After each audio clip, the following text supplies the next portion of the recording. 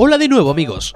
Durante las pasadas semanas no hemos tenido tiempo de subir ningún vídeo, pero hoy aprovechamos una consulta sobre cómo montar un conector FME hembra en un cable coaxial para mostraros este vídeo que esperamos que os guste.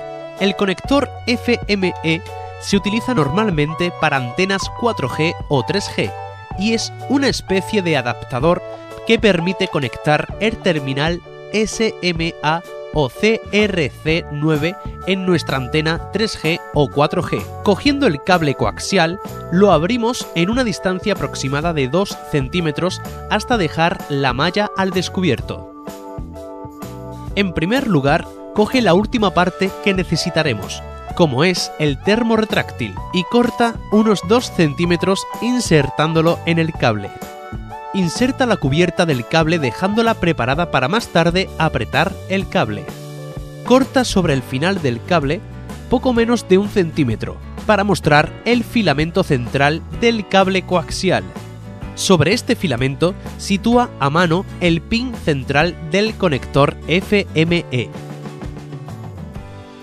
Verifica que el cable se haya quedado en su posición correcta apretando con unas pinzas si lo crees necesario.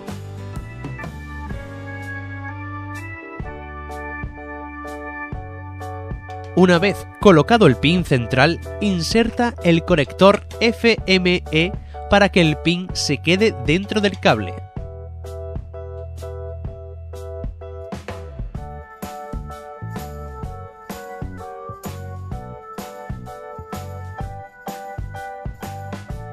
Desliza hacia adelante el protector de la parte trasera del cable para que haga presión sobre él.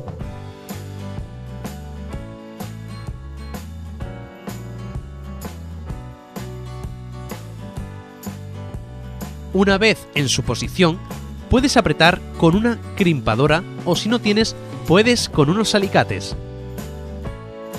De esta forma, el conector quedará en una posición impidiendo que se mueva.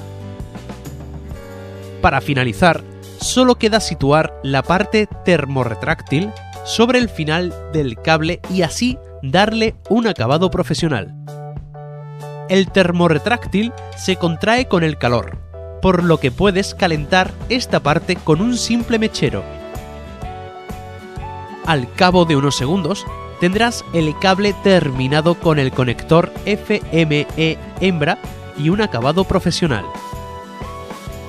Esperamos que el vídeo os haya gustado y ya sabéis, no dudéis en dejarnos vuestros comentarios sobre este producto.